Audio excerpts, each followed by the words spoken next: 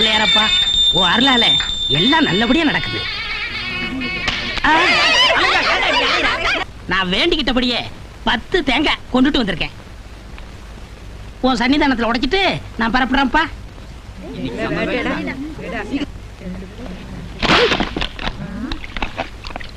புர்றாத என்னங்க இது?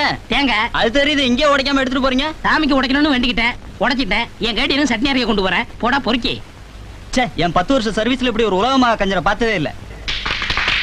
பெரியோர்களே எனது அருமை தாய்மார்களே எனக்கு அளிக்கப்படுகின்ற இந்த பாராட்டு விழாவிலே முக்கியமான ஒன்றை நான் வலியுறுத்தி கூறிக்கொள்ள ஆசைப்படுகிறேன். பொது வாழ்க்கையில் ஈடுபடுபவர்கள் நெஞ்சிலே நேர்மை உள்ளவர்களாகவும் நடத்தையில் தூய்மை உள்ளவர்களாகவும் மக்கள் நலத்தை மட்டுமே சிந்திப்பவர்களாகவும் இருக்க வேண்டும். நான் அப்படிப்பட்ட அரசியல்வாதிதான் என்பதை நீங்கள் நன்றாக அறிவீர்கள்.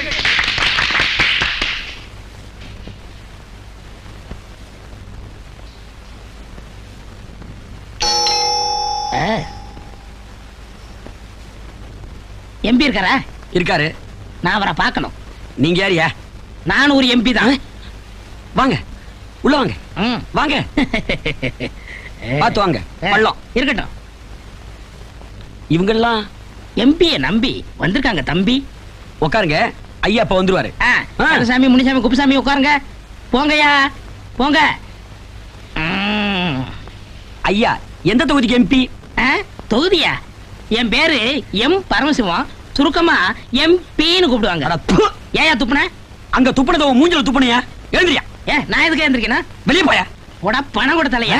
நீயே உள்ள இருக்கும்போது நான் வெளியே போனுவேன் கொண்டுடுவேன் நானும் வரல வச்சுட்டு கொண்டு விடுவேன். வெளியே போடா. டேய், விடுடா, விடுடா, விடுடா, விடுடா, டேய், எப்படி விடுன்னு என்னையா இங்க தகராறு? யார் நீங்களா? ஏய் நீ வெளியே வாடா உன் பட்டை கலட்டிடுறேன் ஐயா இவங்கெல்லாம் நம்ம தொகுதியை சேர்ந்தவங்க. நேத்து நீங்க மீட்டிங்ல பேசுனீங்களா? என் உயிர் உள்ளவரை இலவச உணவு இலவச உடை இலவச வீடு இவைகள் கிடைக்க அரும்பாடுபடுவேன். இவருக்கு உணவு தேவை அவருக்கு உடை தேவை அவருக்கு வீடு தேவை. அதுக்கே எங்க அழைச்சிட்டு வந்த? என்னங்க இது? நேத்து மீட்டிங்ல பேசினாரியா ஆனா இதெல்லாம் யாருக்குன்னு சொன்னாரோ? எங்களுக்கு தானே? இல்ல. எல்லாம் அவருக்கு தான் அர்த்தம். ஆ, என்னங்க இது? லட்சக்கணக்கில் எலெக்ஷன்ல செலவு பண்ணி ஜெயிக்கிறோம். வசதியை நாங்க தேடிக்காம உங்களுக்கு செய்வோம். போங்கய்யா. புரிஞ்சுக்கிட்டங்க. அடுத்த தடவை வாங்க பார்க்கலாம். வரேன் தம்பி. ஓட்டு போடும்போது மட்டும் தவி தவிட்டு போனீங்களே இப்ப புரிஞ்சுக்கிட்டீங்களா? போற போக்குல உங்களுக்கு எல்லாம் கோமம் தான். அப்ப கூட உங்களுக்கு புத்தி வராதே. உனக்கு உனக்கு வீடு ஓடுங்கடா ஓடுங்க. ஏன் பிரதர் நான் பயந்து ஓடியாந்து நினைக்கிறியா? அதான் இல்ல. எம்பி உன்னை திட்டி எனக்கு கண்ணாப்பண்ணு கோவம் வந்து நான் அந்த ஆளை அடிச்சாலும் அடிப்பேன். ஒன்னு அடிச்சாலும் அடிப்பேன். என்னையே நான் அடிச்சுக்கிருவேன். நாளை பின்ன மனசுதான் வரக்கூடாதுன்னு தான் வந்துட்டேன்.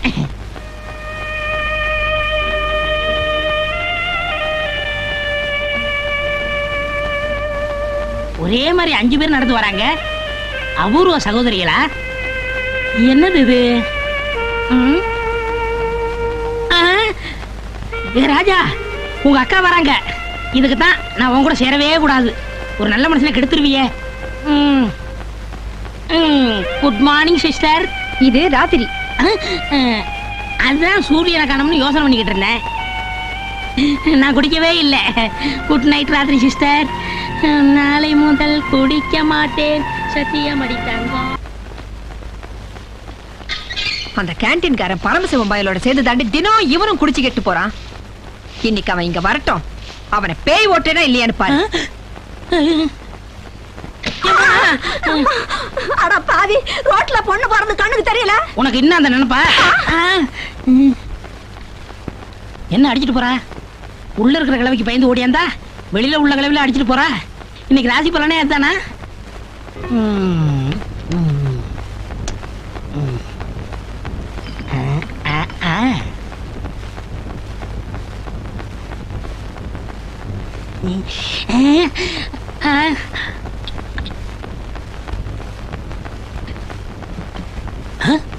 என்னது? கசங்காம கொள்ளாம அப்படியே வந்திருக்கு? நம்ம தலையில ஸ்ட்ரைட்டா சுரங்கப்பாதையே இருக்கா? அடைச்சை. ம். ஏன் பிரதர் சாப்பிட்டாச்சுல? கிளம்பலாமா? உன் கேன்டீனை விட இந்த இடம் நல்லாவே இருக்கு. கொஞ்சம் இதா. ஹலோ தோசை இருக்கு. தோசை எதுல போடுவீங்களா? கல்லுல தான் போட முடியும். பின்ன என்ன உங்க தலையிலயா போட முடியும்? ஓஹோ எண்ணெயிலையா நெய்யிலையான்னு கேக்குறீங்களா? எண்ணெயில தான். பார்சல் அனுப்பிச்சு வச்சிடுறேன். Okay okay. டே பையா. ஐயா ரெண்டு தோசை பார்சல் பண்ணு. ம். ஏயா உனக்கு கிம்பளம் கிடைக்கிறதுனால ரெண்டாயிரம் ரூபாய்க்கு சாப்பிட்டு நூறு ரூபா நோட்டை கொடுக்குறியே? சில்லறைக்கு எங்கேயா போறது? சரி அப்ப நாளைக்கு வாங்கிக்கோ. ஆ? நீ சில்லறையை கொடுத்து இந்த நூறு ரூபா நோட்டை எடுத்துட்டு போ. ம். இப்ப நமக்குள்ள ஒரு பந்தயம் வச்சுப்போமா? என்ன பந்தயா? இந்த பக்கம் இருக்கிற இந்த முகத்தை ஆ. நான் அந்த பக்கம் கொண்டு போறேன். அது எப்படியா முடியும்? முடியுங்கிறேன் அப்படி நான் செய்துட்டா சாப்பிட்டதுக்கு பில்லு கொடுக்காம நூறு ரூபாய் நோட்டை நான் எடுத்து போயிட்டேன் அப்படி நீ தோத்துட்டா இந்த நூறு ரூபா நோட்டை நான் எடுத்து போட்டுக்கிருவேன். ஓகே. ஆ. இத பாரியா. நல்லா பாத்துக்கோ. இந்த பக்கம் இருக்கிற இந்த முகம். இப்போ அந்த பக்கம் போக போகுது? பாத்தியா என் முகம் இந்த பக்கம் வந்துடுச்சு. ஐயோ. குடு குடு குடு குடு குடு. இருயா அவசரப்படாத. நான் ஒரு பந்தயம் வைக்க போறேன். என்ன பந்தியம் நான் காலை நெத்தி தொடணும். நாக்கால மூக்க தொடலாம். நெத்திய முடியாது. என்னால முடியுங்கிறேன் தோத்துட்டா? இன்னொரு நூறு நோட்டை உனக்கு கொடுத்துறேன் சத்தியமா? சத்தியமா? நிச்சயமா? நிச்சயமா? நாக்கால நெத்திய தொடுற ஆமா. தொடு. பாத்துக்கய்யா இது என்ன? ரெண்டு நூறு ரூபாய் நோட்டு இது என்ன? நாக்கு. இந்த நெத்தியா? என் புத்திக்கு தெரியாம போச்சு. ஏமாத்தாத கொடுத்து போயா கொங்கா. உன்னை போல எத்தனை பேரை பார்த்திருக்கேன். போயா.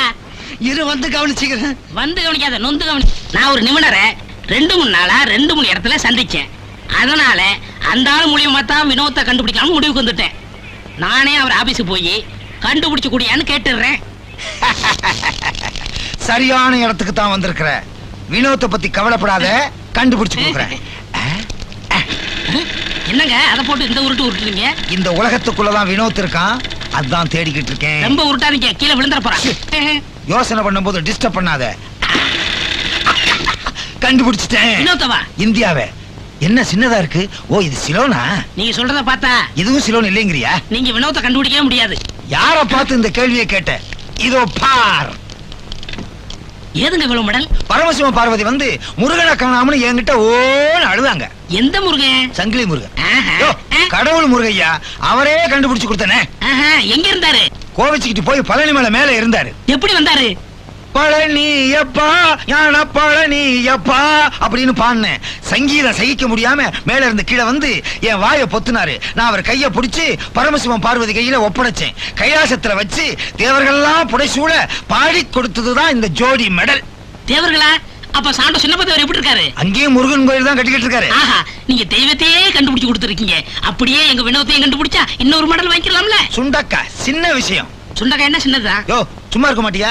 சொல்றத கேளியா? என்ன விஷயம் சொல்லுங்க. இதுக்கு ஒரு பொண்ணு செட்டப் பண்ணணும். ஏன்டா துப்புன? நான் உங்களை என்னமோன்னு நினைச்சேன். கடைசியில இந்த வேலை பார்க்க சொல்றீங்களே. யோ மாங்காய் மடைனா இருக்கியே. நான் செட்டப் பண்ண சொன்னது அது இல்லையா. நாம ரெண்டு பேரும் சேர்ந்து ஒரு பொண்ணுடைய வீட்டுக்கு வேலை பார்க்க போறோம். நீங்க சொல்றதெல்லாம் உண்மைதானா?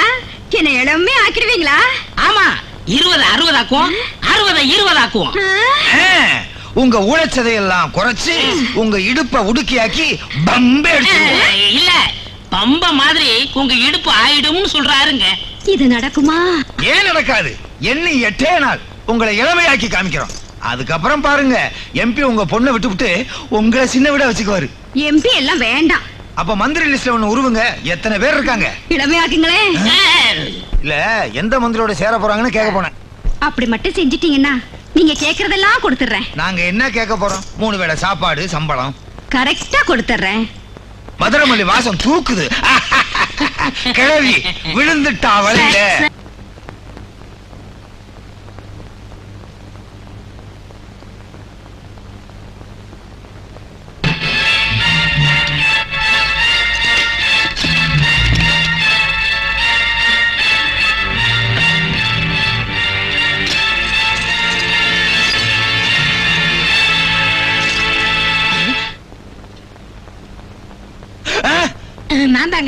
நீதானா கருப்பு பொண்ணு மாதிரி இருந்துச்சுப்பா. வழக்கம் போல அந்த வேலைக்கார பொண்ணு சாப்பாடு எடுத்துட்டு போச்சு.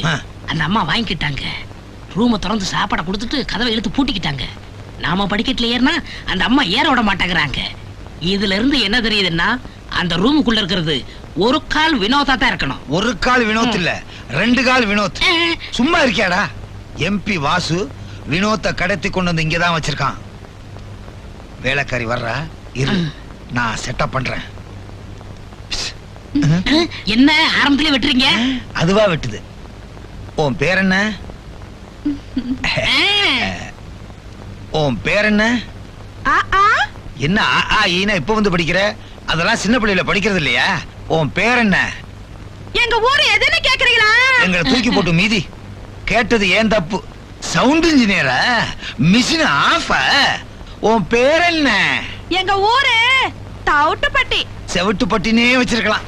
வைத்தியரே இப்படி கேட்க கூடாது அவங்க பாஷையில சத்தம் போட்டு கேட்கணும். உன் பேர் என்னன்னு கேக்குறாரு. என்னங்க? நானும் பாக்குறேன். இந்த ஆளு வாய மட்டும் அசைச்சிட்டு இருக்காரு சத்தத்தையே காணோம். ஒருவேளை ஊமையா? குருடு கிழிஞ்சது போ. கேட்டு கேட்டு குடலே அந்து போச்சுப்பா. போலாம். அவங்க ஜாடியிலேயே கேட்போம். அதாவது கதவை திறந்து போய். படுக்கவா கூப்பிடுறேன் என்ன அது அவங்க ஜாடியில கேட்டாலும் பதில் சொல்ல மாட்டேங்கிறா?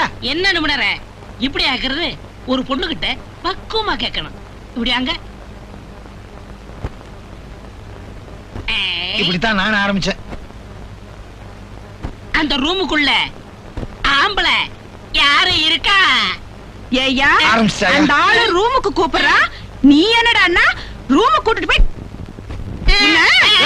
சும்மா சொன்னா கேளுமா, அடிக்காதம்மா. வைத்தியரே. நீங்க கொடுத்த மருந்த மூணு நாளா மாத்தி மாத்தி சாப்பிட்டே இருக்கேன் இளம திரும்பவே இல்லையே. கொட்ட ஆவியா தான் வந்துட்டு இருக்கு கொட்டாவி ஏன் தெரியுமா வருது? கிழட்டு ஆவி எல்லாம் வெளியே போய் இளமையான ஆவி உள்ள போகுது. அதுக்காக கொட்டாய் வரும்போது சும்மா இருந்துடாதீங்க. ஆணு விட்டுக்கிட்டே இருங்க. நாற்பது வயசு கிழட்டு ஆவி கம்போட வெளியே போகுதுங்க. ஆமாங்க. இது ஒரு அதிசயமான ஆவி வைத்தியம். எண்ணி எட்டே நல்ல பெரிய கொட்டாவிய விட்டு நீங்க கட்டளைக்காக போறீங்க. அதுக்கப்புறம் அகில உலக அழகி பட்டமே உங்களுக்கு கிடைக்க போகுது.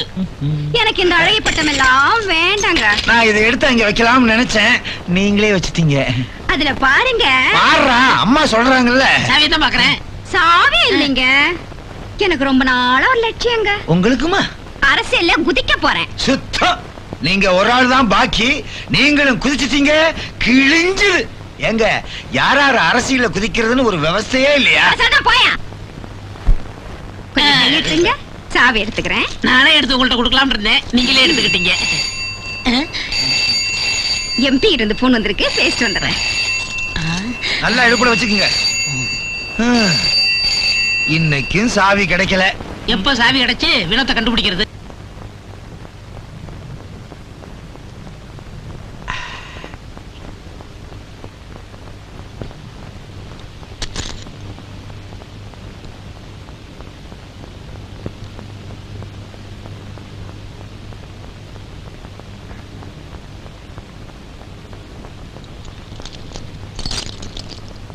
ஆ. அடச்சி ஓட்டை இங்க இருக்குதுயா? எது எங்க இருக்குன்னு எனக்கு தெரியும்!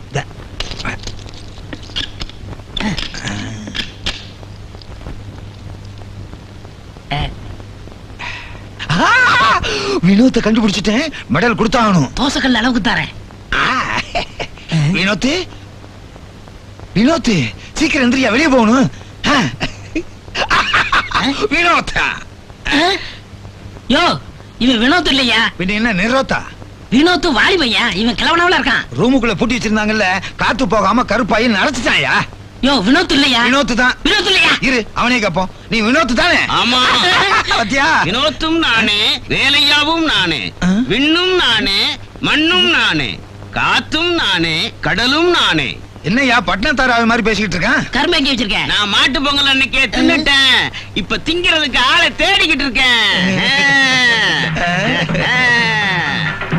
ஐயோ, நீ ஆதிவாசியா? ஆதியிலே இப்படி ஆணியா? இல்ல பாதியிலே இப்படி ஆணியா? ஆட்டாம சொல்லு. ஆடிக்கிட்டு தான் சொல்லுவேன். ஐயோ அவன் தான் என்ன ஆட்டுறான்? ஆடுறேன். நீ ஏன் ஆடுற? ஆடுறேன், தானா ஆடுது. நீ யாரியா? என் பொண்டாட்டி பாமாவுக்கு நான் புருஷன். இந்த வீட்டுக்கார அம்மாவுக்கு நீ புருஷனா? என்ன பக்கத்து வீட்டுக்கார அம்மாக்கு நான் சொன்னா? என் மகளுக்கு நான் அப்பன். இந்த ஊருக்கு பைத்தியம். ஐயா ஐயா ஐயா தெரியாம வந்துட்டோம் ஐயா. வேலைக்காரியும் ஒரு சைஸ் வேலைக்காரனும் ஒரு சைஸ் வீட்டுக்காரனும் ஒரு சைஸ் ஐயா தெரியாம வந்துட்டோம் ஐயா. எங்களை விட்டு என்ன? விட மாட்டேன் இல்லங்க எதுக்கு? உங்களை குத்தணும். என்னய்யா டிஃபன் சாப்பிட கூப்பிடுற மாதிரி கூப்பிடுறான்? ஐயா விட்டுறியா குனிங்க ஐயோ எதுக்குயா முதுகுல குத்தணும் அப்பா அப்பா அட பாவி ஐயோ, ஐயோ, ஐயோ, எனக்கு இருக்கு போயிட.